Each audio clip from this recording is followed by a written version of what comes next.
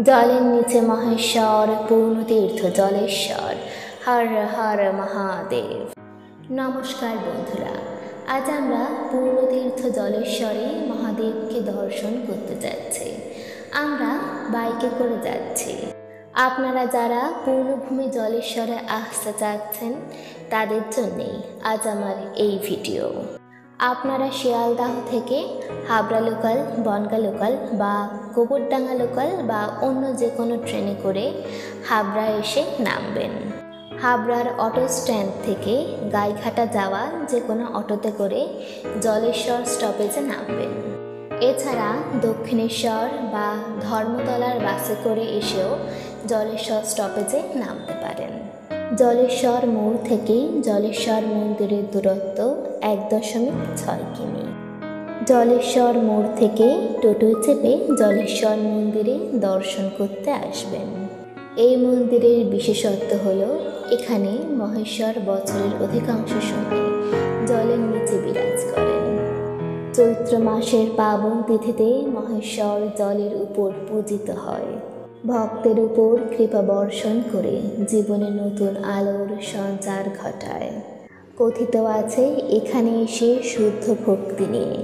মহাদেবের কাছে বললে, সকল মনস্কামনা পূর্ণ হয়। মন্দিরটি পশ্চিমবঙ্গের উত্তর চব্বিশ পরগনা জেলার গাইঘাটা থানার অন্তর্গত। মন্দিরটির স্থাপনের কাল সম্বন্ধে বলা হয়। মন্দিরটি সেন বংশের রাজত্বকালে দ্বাদশ শতকের শেষ ভাগে কাঁচা ইটের গাঁথনি এবং টিনের ছাউনি দিয়ে নির্মিত হয়েছিল। তখন থেকেই এখানে শিব অর্চনা শুরু হয়। আর জলেশ্বর গ্রামটি পূর্ণ তীর্থক্ষেত্রে পরিণত হয়। জলেশ্বর মহাদেব কবে থেকে যে জলের নিচে বিরাজ করে এই জলেশ্বর ক্ষেত্রকে পূর্ণতীর্থে পরিণত করেছে তা জানা যায় না।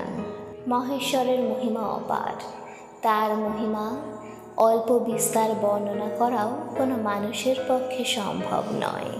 মন্দিরের সামনে যে পূর্ণ পুকুরটি দেখছেন, তার নাম শিবপুকুর। সেখানেই বাস জলেশ্বর মহাদেবের।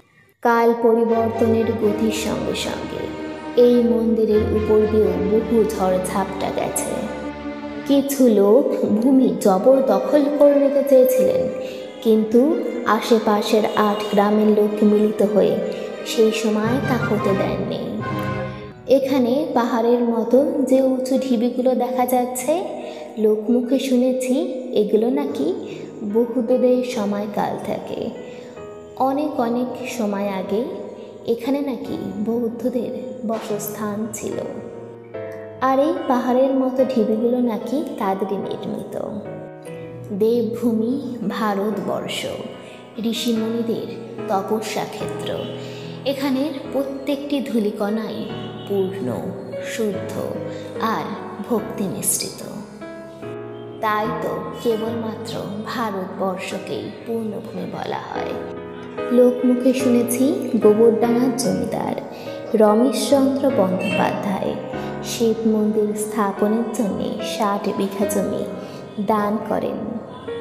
তাই এই পূর্ণ কাজের জন্যে আমরা তাকে আজও স্মরণ করি।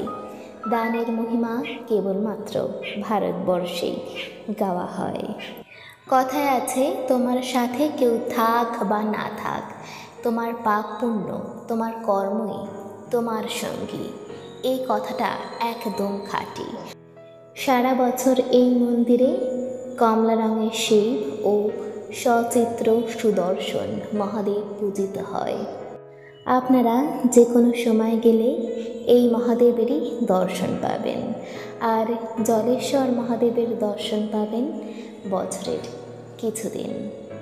জলেশ্বর মহাদেব চৈত্র মাসের তৃতীয় সোমবার বেলা বারোটায় জল থেকে ওঠে। সেদিনই বাবা মহেশ্বর হালি শহরে গঙ্গার রামপ্রসাদের ঘাটে যায় ও কৃপা পরবশ ভক্তের পূজা গ্রহণ করে। কারণ সেই কৃপা না করলে কারোর পক্ষে কি তাকে পুজো করা সম্ভব? তারপর বাবা জলেশ্বরের। জলেশ্বরে ফিরে আসতে সময় লাগে প্রায় তিন দিন। বাবা এসে এই মন্দিরটিতে থাকে। তখন বেলা বারোটায় বাবার ভোগ নিবেদন করা হয়। তারপর বাবা জলেশ্বর, কৃপা করবার হেতু, আটটি গ্রামের প্রতিটি বাড়িতে যায়। বাবা জলেশ্বর এই জলেশ্বর মন্দিরে আবার নীলের রাত্রে ফেরে। সেদিন প্রফুল্ল মনে উদ্যোগের সাথে হাজার হাজার ভক্তের সমাবেশ ঘটে ওই মন্দিরে। সাত দিনের জন্যে চড়ক মেলা হয়। বহু বহু ভক্তরা উৎসাহের সঙ্গে সেই মেলায় অংশগ্রহণ করে, আর বাবার দর্শন পেয়ে ধন্য হয়। পয়লা বৈশাখেই বাবা জলেশ্বর, আবার শিব পুকুরের জলে বিলীন হয়ে যায়।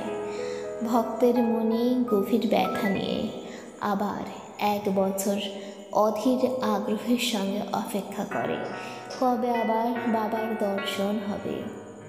মনের গভীরে ধ্বনিত হয়। জয় ভোলেনাথ মহেশ্বরের জয়। জয় জলেশ্বর মহাদেবের জয়।